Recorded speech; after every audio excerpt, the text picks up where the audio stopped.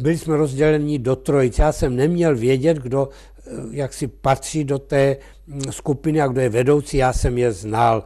Hugo Lenek a právě ten Štras, taky Kurt Roubíček a podobně, Alena Foglová, ale to bylo proti pravidlům, proti pravidlům konspirace. Jinak jsem byl členem trojky, to znamená, že já jsem byl napojen ze dvou stran na dva kamarády. Jeden z nich byl ten Avi Fischer Ofir, který nedávno zemřel, z druhé strany to byl Sonnenberg. Sonnenberg byl Němec, tedy německý žid, ale byl daleko víc Němec, to byl pravý prušák, který byl Vorarbeiter, to znamená, že byl uh, předák, který vodil lidi na práci, uh, lidi ho neměli rádi, vůči mě byl naprosto korektní a zřejmě to myslel vážně uh, i s tou spourou. Ta spoura byla velmi podrobně připravena, jaký byly naše úkoly. Velice stručně zapálit lágr, eh,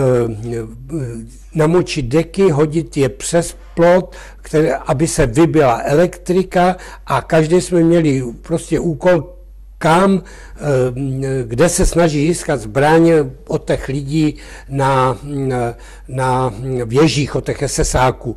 Počítali jsme s tím, že dojde k povstání že přežije na než jedno nebo dvě procenta, ale pořád se nám to zdálo lepší, než, než když um, půjdeme jako ovce prostě na tu porážku.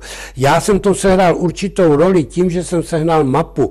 Eh, bylo to velmi eh, dlouhé líčení, by to bylo prostě děti mě našli na, na ulici mm, válece marky a přinesli mě je. Bylo jich strašně moc na té lágr, cestě, na té cestě uprostřed lágru.